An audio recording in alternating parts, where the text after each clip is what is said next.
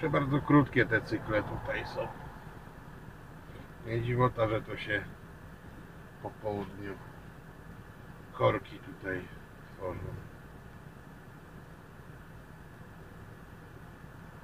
Poniekąd jakby się tak dobrze przyjrzeć, chyba dłużej stoimy, czekając na to zielone, niż na samym zielonym jedziemy.